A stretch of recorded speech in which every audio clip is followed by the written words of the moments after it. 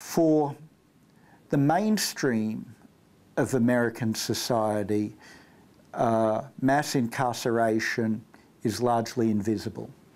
Um, if uh, you are white and college educated, for example, uh, incarceration rates have not increased at all, hardly. Um, and so for that segment uh, uh of American society, uh, mass incarceration means nothing at all.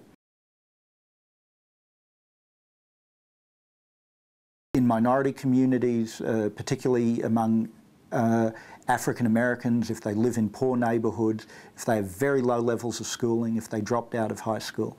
It's been an utter transformation uh, of the lives of uh, those very marginal, uh, very marginal people. The criminal justice system has become a ubiquitous presence uh, in their lives. The face of government uh, in the lives of those uh, uh, poor African uh, American, particularly men with low levels of schooling. The face of government uh, has become the prison guard, the parole officer, the policeman. Uh, and so, uh, for that segment uh, of American society, it's been an utter transformation.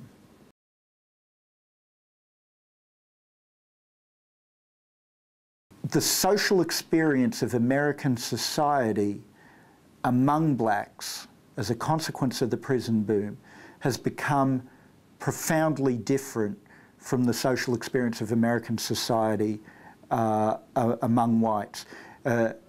Uh, among blacks, even college educated blacks, they know people in prison, they have family members uh, in prison.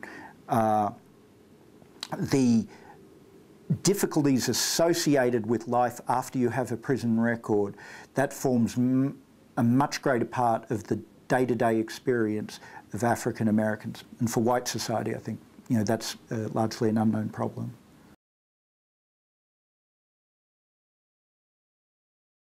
At root, uh, what these men need is not more intensive supervision coming out of prison, uh, but they need sources of structure and order and pre predictability uh, in their lives that have a strong pro-social basis. So what are we talking about? Essentially, uh, employment.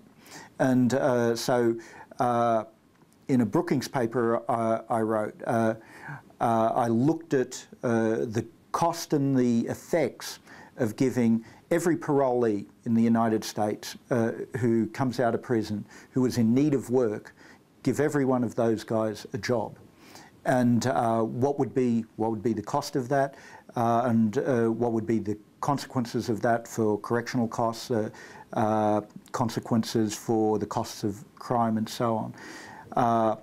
Uh, and, and so, you know, that's the idea I've been doing a lot of work on over the last few years. I think employment is the fundamental deficit, actually, of this group of men. And so that's really what uh, policy has to target.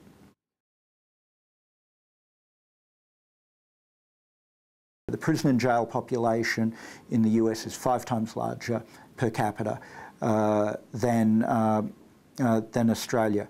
Uh, Australia has uh, a very, very large racial disparity in incarceration uh, that really is the mirror image of the racial disparity in incarceration that we see in the United States. In the United States, the ratio of black incarceration to white incarceration is about seven or eight to one. So blacks are about seven or eight times more likely to be in prison or jail uh, than whites. Uh, in, uh, Uh, in Australia, uh, the, the black-white ratio, if you like, or the ratio between uh, the indigenous population uh, and uh, white Australians is uh, also about seven or eight to one, though these incarceration rates are much lower, are much lower here. And I, my sense is Australia has not gone nearly as far, actually, down the path of punitive criminal justice uh, as the United States has. And in, in the United States, uh, it's a surrogate social policy for low-income men.